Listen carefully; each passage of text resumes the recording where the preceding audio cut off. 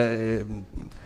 la parola all'onorevole Francesco Lollobrigida, capogruppo Fratelli d'Italia alla Camera. Lascerò le conclusioni al collega Gemmato che mi ha prestato la cravatta quindi diamo questo titolo di, di, merito e poi mi scuso in anticipo perché lascerò la sala prima delle sue conclusioni. Un ringraziamento dovuto al Dipartimento guidato da Gianluca Caramanna per il virtuoso lavoro che ha fatto in questi anni, ma anche perché è riuscito a rendere utili i dipartimenti. I dipartimenti hanno un'utilità se riescono a essere collante di una classe dirigente che si occupa specificatamente di alcuni argomenti, riescono a essere cinghia di trasmissione delle esigenze del rapporto con le categorie, con, eh, tra virgolette, quell'utenza che diventa funzionale alla costruzione di proposte politiche, ma anche perché è riuscito poi a trasformare il Dipartimento in una fucina complessa nella quale si portano a sintesi proposte che in Parlamento vengono poi accompagnate dal prezioso lavoro, e lo dico del collega, per esempio, Riccardo Zucconi, che in questi anni di collaborazione con Gianluca Caramanna ha trasformato in testi di legge quelle che erano le proposte che venivano dal territorio. A me spesso, caro Luca, ti ringrazio a te eh, per competenza, ovviamente a tutti gli amici che ci ospitano qui a Napoli, le tante proposte che poi vengono lette spesso nelle sale da coloro che fanno parte delle categorie interessate e ci dicono ma la pensate come noi? E certo, l'avete scritte voi le cose che noi portiamo in Parlamento in un virtuoso rapporto nel quale in termini di sussidiarietà noi acquisiamo il know-how che viene proposto da coloro che conoscono la materia, la interpretano, addirittura ci troviamo ad avere in Parlamento persone che sono prima professionalmente impegnate in questi settori e quindi diventano immediatamente empatici rispetto alle categorie di riferimento, ma traiamo da loro gli spunti come dal resto dei pezzi della società per poi provare a rendere utile la politica come capace di fare sintesi, quindi di fare proposte, diventare utile. Questa è l'esigenza che i cittadini hanno nei confronti di chi pagano in Parlamento io credo che questo virtuoso lavoro sia stato realizzato grazie anche a questi laboratori che Fratelli Italia ha messo in piedi per superare quella incompetenza complessiva che sembrava prevalere nella ventata di novità rappresentata dal Movimento 5 Stelle in cui ognuno vale uno e nulla ha senso in termini di professionalità e di preparazione. Noi diciamo il contrario, l'onestà è una precondizione per fare politica e se sei disonesto devi andare in galera, non devi fare politica, ma la onestà in quanto tale non serve a realizzare niente, servono le capacità, servono il merito, servono le competenze. In un settore specifico come quello del turismo le competenze sono essenziali, la capacità di conoscere quali sono le opportunità, in Italia esistono le opportunità, la natura ce l'ha date, esistono i monti, l'enogastronomia, esiste il mare, ma poi serve la eh, capacità di coniugarle con il modo di metterle a rendita, perché noi ci accorgiamo che nella eh, divaricazione numerica che esiste tra città e città, prima veniva citata da Luca la differenza che c'è tra Napoli e Milano, e Napoli e Milano sono due straordinarie città, ma certamente Napoli non è seconda a Milano in capacità di offerte, allora se quei numeri sono così penalizzanti ci deve essere una ragione che abbiamo approfondito ed è legata alle infrastrutture, che non sono solamente infrastrutture trasportistiche che sono importanti, ma in materia di sicurezza, lo ricordava Andrea Santoro prima in apertura, un turista deve essere certo, perché noi siamo turisti quando ci rechiamo all'estero, che cosa vogliamo? Vogliamo stare bene, vogliamo arrivare velocemente, vogliamo non rischiare niente Ovviamente i turisti di tutto il mondo vogliono le stesse cose quando sognano e ambiscono a venire in Italia, ma poi magari si fermano e decidono di seguire altre mete perché sono più raggiungibili, più semplici. Sono i temi lo dico con chiarezza, trattati dai nostri assessori quotidianamente, da chi per esempio li ha coniugati come l'assessore Berrino nei cinque anni di governo virtuoso della Liguria che ci ha permesso di rivincere, con una sintesi tra l'assessorato ai trasporti e l'assessorato al turismo che lo ha messo in condizione di valutare i due ambiti e lavorare con una crescita costante dell'attrattività, così come gli altri assessori che hanno scelto queste deleghe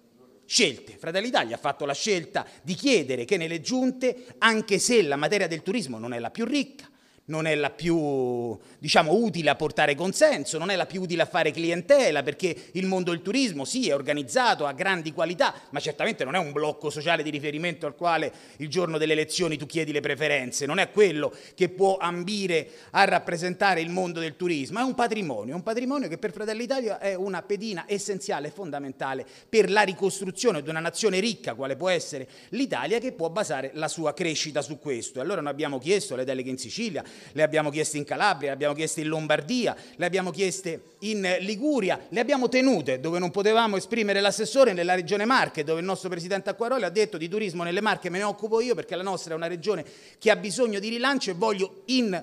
prima persona occuparmi di questo settore. E abbiamo chiesto di rappresentare le regioni italiane nell'ENIT, questa macchina che purtroppo in assenza del Ministero del Turismo negli ultimi anni è stata latente, non si è sentita la presenza dell'ENIT. Che cos'è l'ENIT? L'Ente Nazionale di Promozione del Turismo, una cosa nobile inventata tanti tempo fa da chi aveva la saggezza per immaginare una promozione complessiva del sistema e che in questi anni è stato invece quello oggetto di spesa superfluo e spesso di clientelismo, purtroppo senza invece delle valutazioni attente di quelle che devono essere le competenze. Che sofferenza quando uno va in giro per il mondo e nelle fiere internazionali trova una promozione disorganica del patrimonio nazionale che si afferma nei banchetti delle regioni. Quindi tu vedi la nobile regione del Molise piuttosto che l'importante regione eh, Lombardia promuoversi all'estero di fronte a un giapponese che a malapena conosce l'esistenza della capitale d'Italia e che ha necessità di invece vivere il marchio Italia come promozione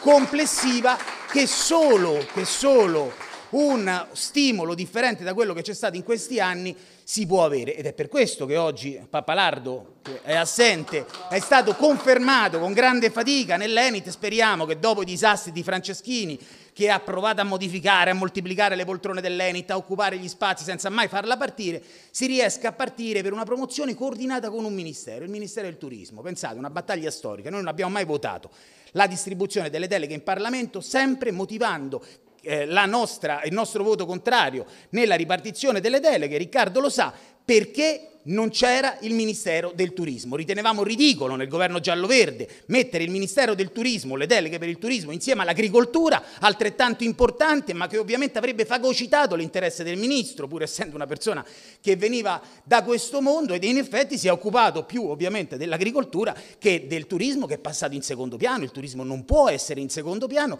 ed è per questo che abbiamo apprezzato e sostenuto, devo dire, la scelta del governo Draghi di restituire all'Italia un Ministero del Turismo. Purtroppo un ministero debole. Ci siamo presentati al ministro Caravaglia subito con i nostri cinque assessori competenti dicendo noi siamo opposizione.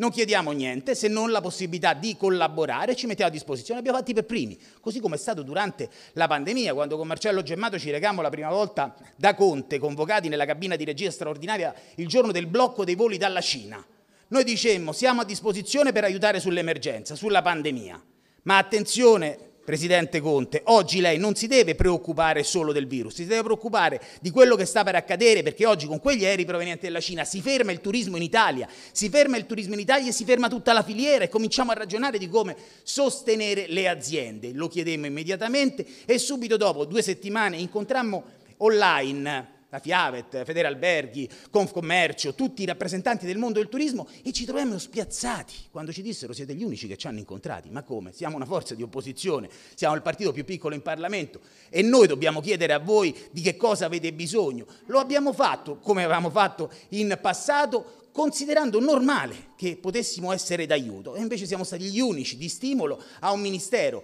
non perché Franceschini è incapace, Franceschini è un ministro capacissimo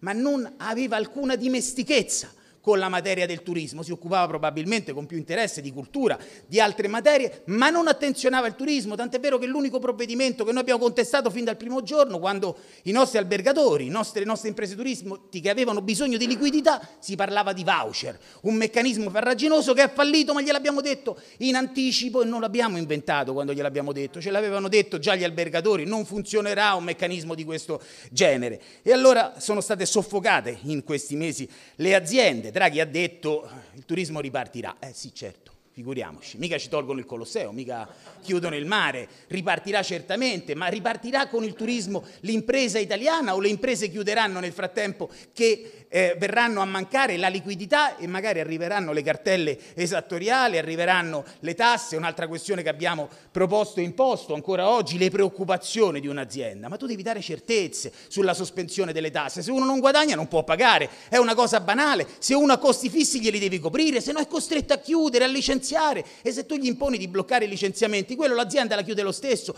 perché non può affamare la propria famiglia e se non ha soldi non può pagare cose banali, dire sempre la verità. Uno degli elementi che Fratelli d'Italia si è data come regola è la grande soddisfazione che ci viene riconosciuto, ci viene riconosciuto oggi ma ci viene riconosciuto nei bar, nei ristoranti, tra gli albergatori, tra i balneari, tra quelli che magari non ci hanno mai pensato in termini elettorali, non hanno mai pensato di votare a destra, ma che oggi dicono siete gli unici che dicono le cose come stanno. E ripeto, le cose come stanno sono solamente la lettura della realtà e delle potenziali soluzioni. Quali sono, a mio avviso, e qui concludo, le potenziali soluzioni? Intanto non fare follie. Oggi un'altra follia in corso in questi giorni è la dichiarazione dello stato di emergenza. Una follia che non serve a niente perché lo stato di emergenza si ha quando tu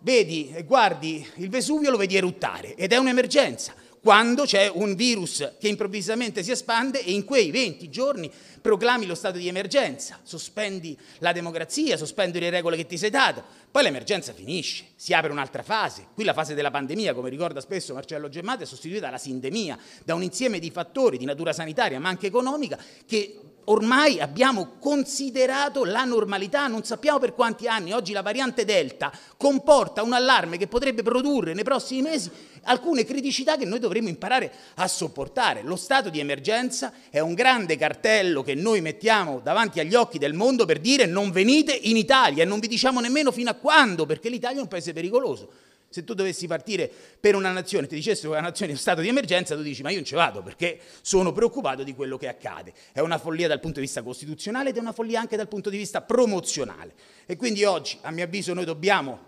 prevedere quello che accadrà. Diceva il presidente Bocca di Federalberghi che i dati sono disastrosi. Certo, dire eh, rispetto all'altro anno le cose vanno meglio, eh, grazie. Grazie. 50%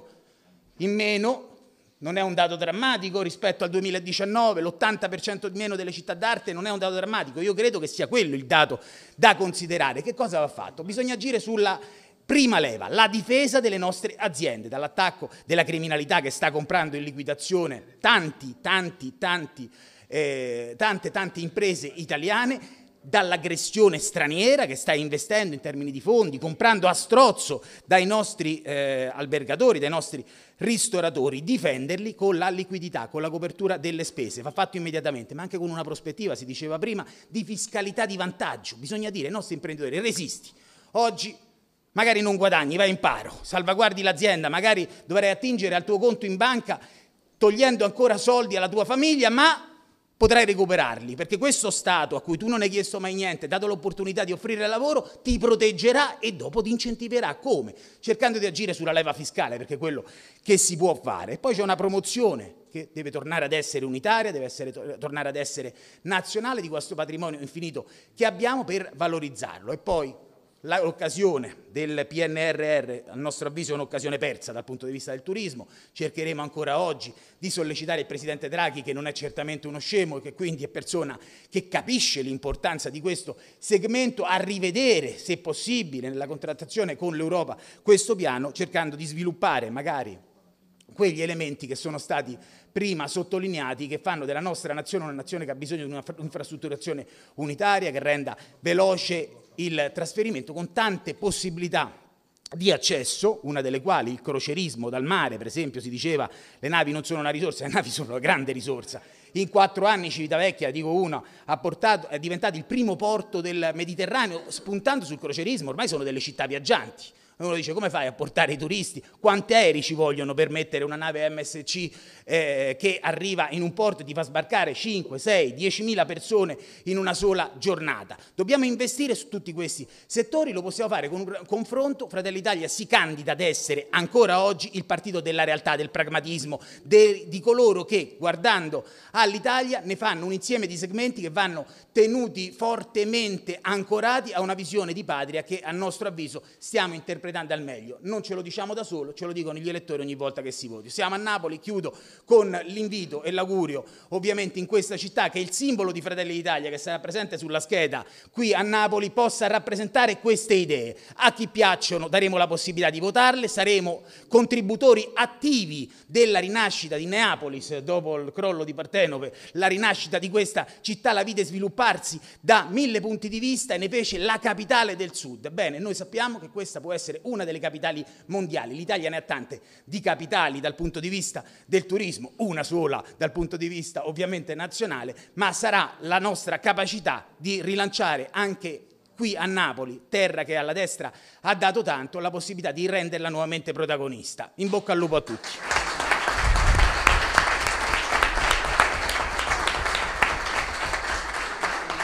Grazie, grazie.